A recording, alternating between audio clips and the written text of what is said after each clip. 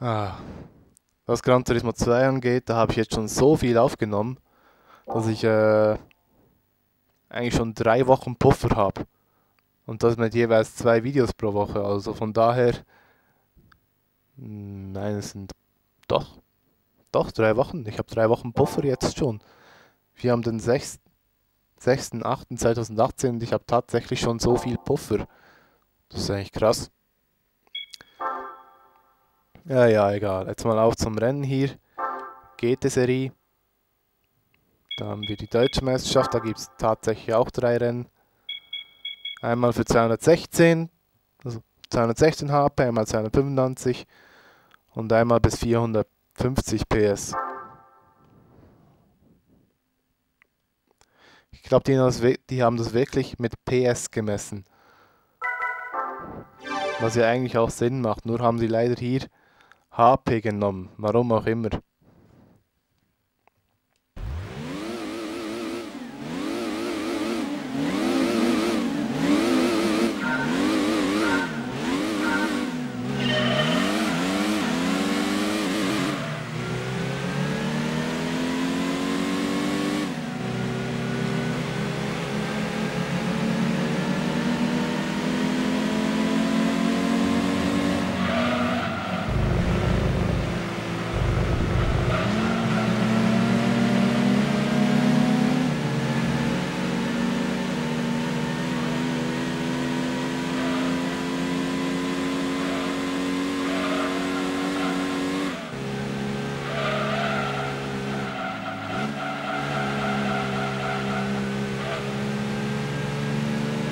Das ist momentan kein Problem. Ich denke, ich könnte auch gegen 300 PS starke Fahrzeuge antreten mit diesem Fahrzeug hier.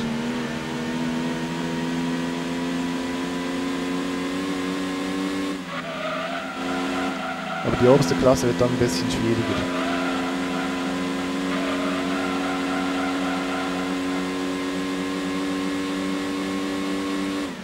Da werden wohl auch äh, ein oder zwei Rufs antreten. Da möchte ich da schon gewappnet sein.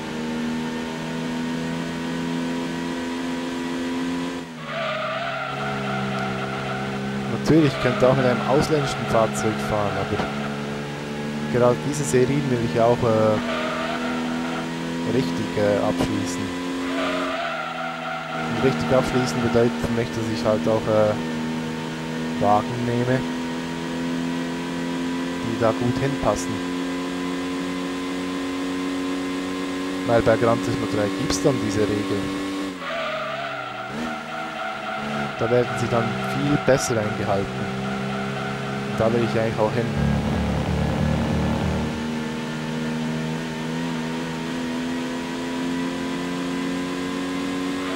Das ist übrigens ein Cabriolet, das heißt ich kann beim Cabriolet-Rennen noch damit mitmachen.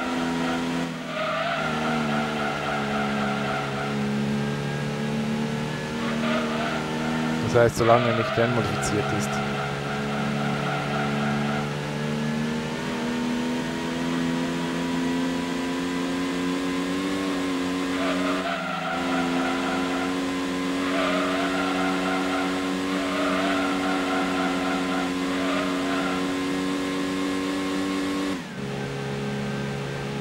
Für diese Strecke passt es viel besser im Moment. das Fahrzeug. Vorher auf TT Road hatte ich da schon ein bisschen meine Probleme.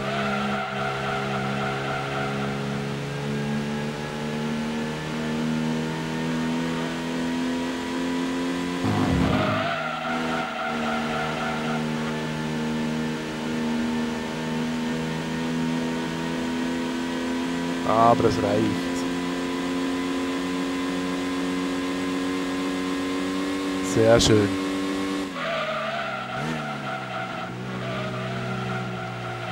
Volkswagen New Beetle, Opel Astra, BMW 528, Volkswagen Golf V5 und ein CLK 200. Okay, interessant.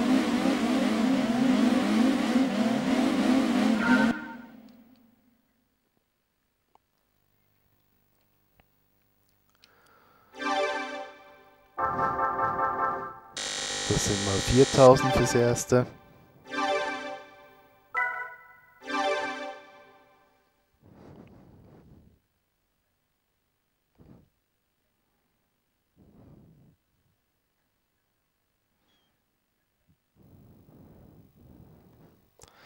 Gut, also, dann das zweite Rennen noch bis 300 PS.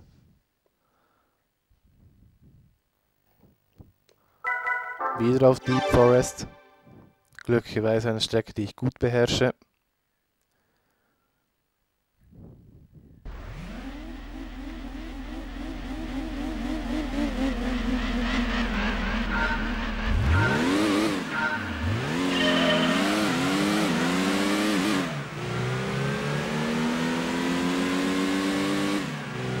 Jetzt habe ich noch nicht auf die Gegner geachtet, aber man sieht zumindest auf der Geraden, dass sie einiges davon ziehen.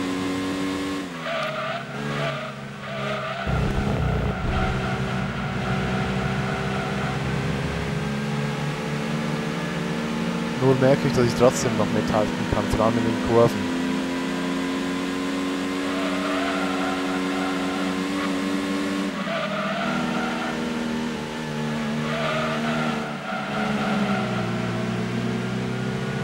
Das heißt, wenn ich nicht gerade jemanden in den Arsch fahre.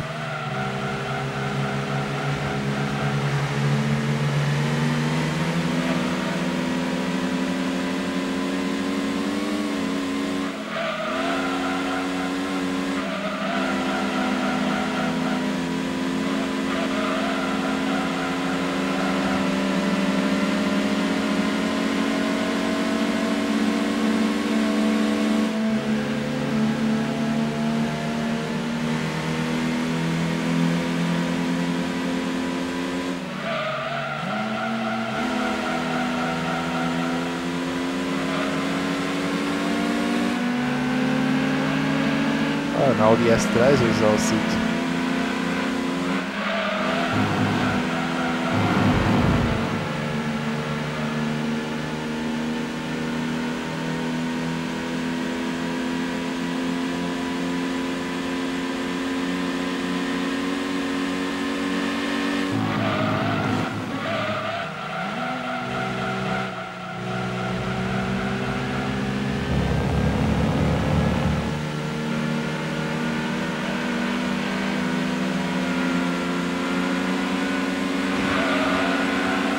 so der drückt mich weg, der Arsch.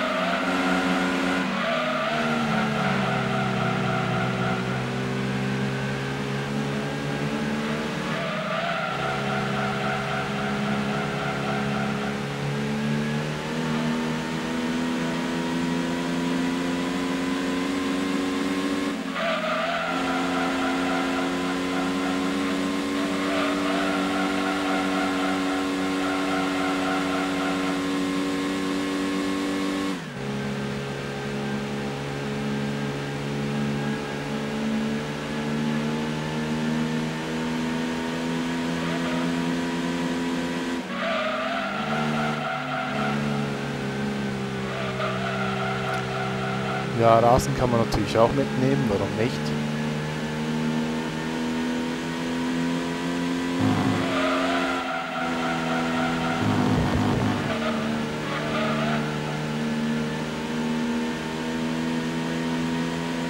Zum Glück hatte ich schon genügend Vorsprung.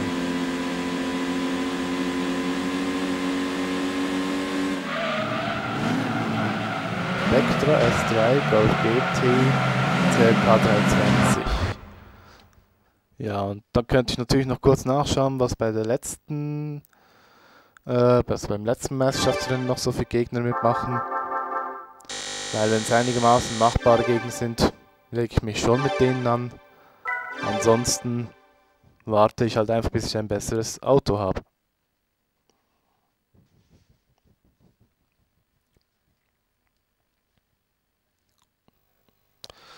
Also, schauen wir uns mal an, was hier so für Gegner antreten.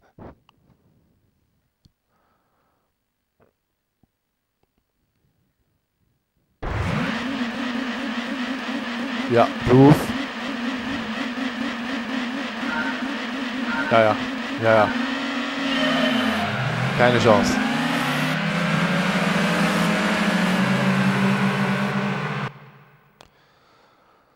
Da muss man gar nicht weiter diskutieren. Dafür ist mein Fahrzeug zu schwach. Da muss ich ein besseres haben.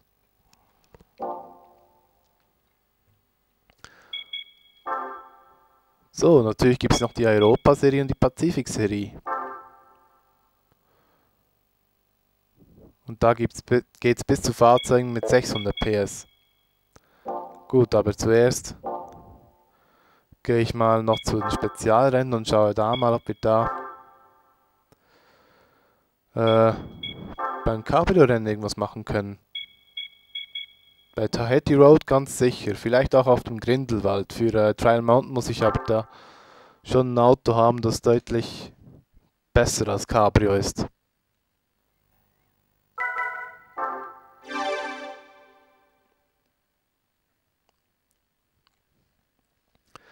Also.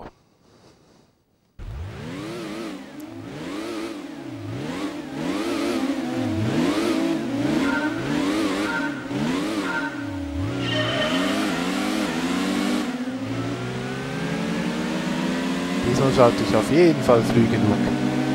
Lotus Elan, noch ein Lotus Elan.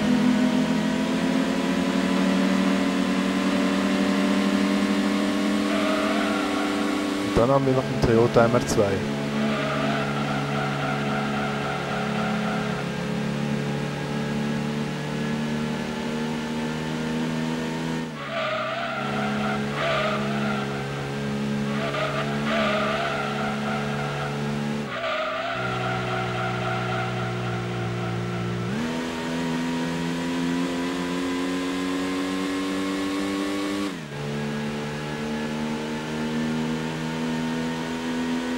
Vielleicht gewinne ich ja dann ein Auto, das relativ gut ist für die Cabrio-Rennen.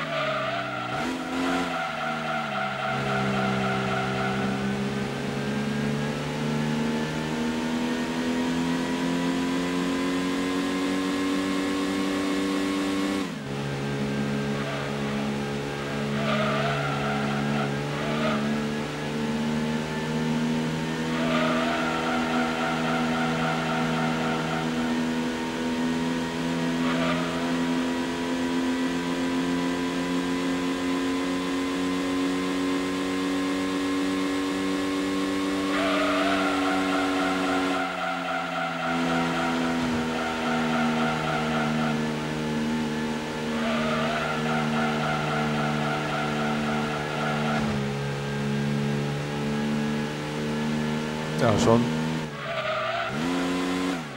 einen ziemlichen Vorsprung herausgeholt.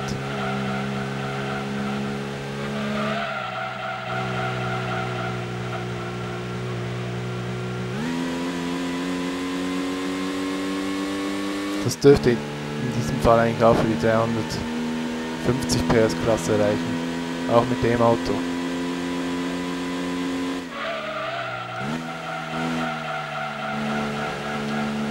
Vor allem weil mit dem Grindelwald eine weitere Strecke ansteht, die ich ziemlich gut beherrsche.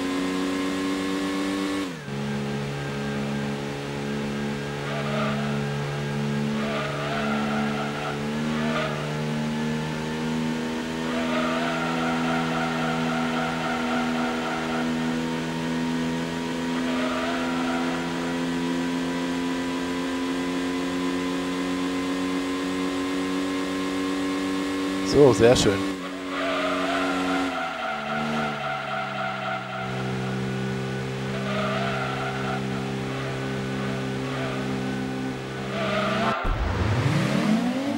Der ist von 1990, der Elan.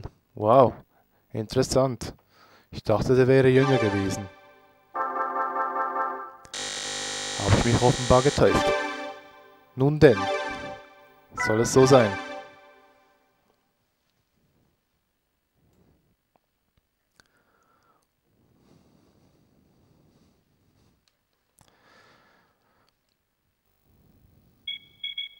Schauen wir zuerst mal, was sie da für ein Auto gewonnen haben.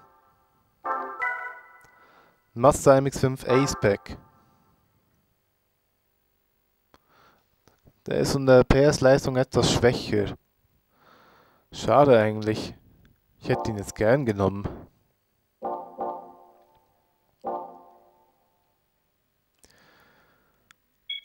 Daher wieder zum Rennen. Machen wir gleich noch das zweite Cabrio-Rennen. Auf dem Grindelwald.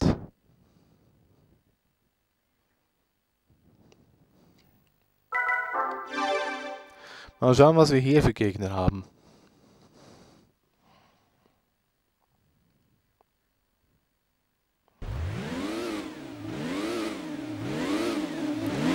Ja, sollte eigentlich alles noch machbar sein.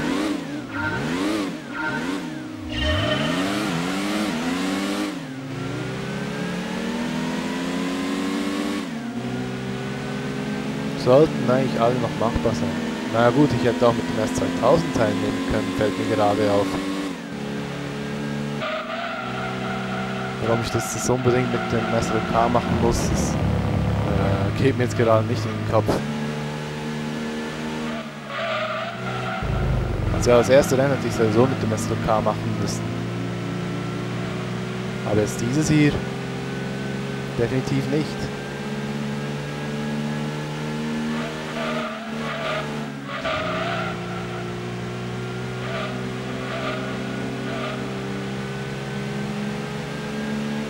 Fiction das 2000 nehmen müssen. Warum habe ich nicht daran gedacht, meine Fresse? Warum bin ich so blöd?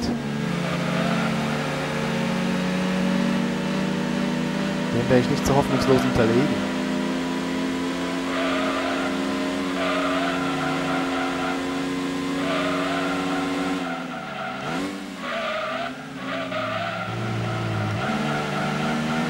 Oder auch mit dem Concept Car hätte ich auch antreten können.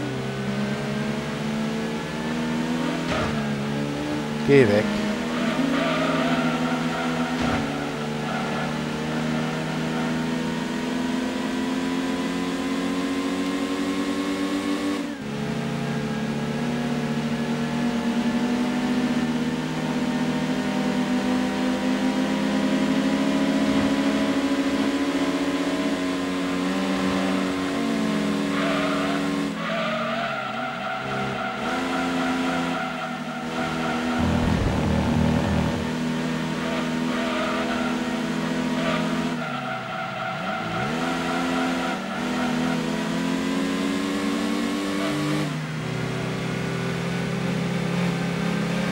Das hole ich nicht mehr auf. Ziemlich sicher nicht.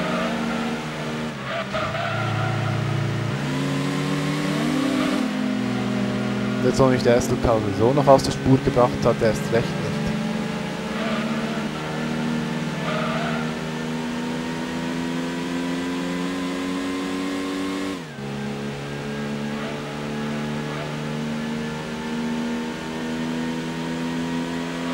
Ja, 3,1, das hole ich nie mehr auf. Vor allem nicht nach diesem Abschnitt.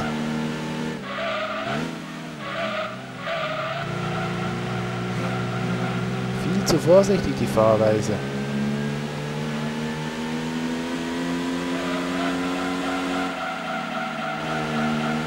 Das ist kein Wunder, reicht's nicht. Mann. Da war ich richtig dämlich. Mensch, regt mich ja richtig auf.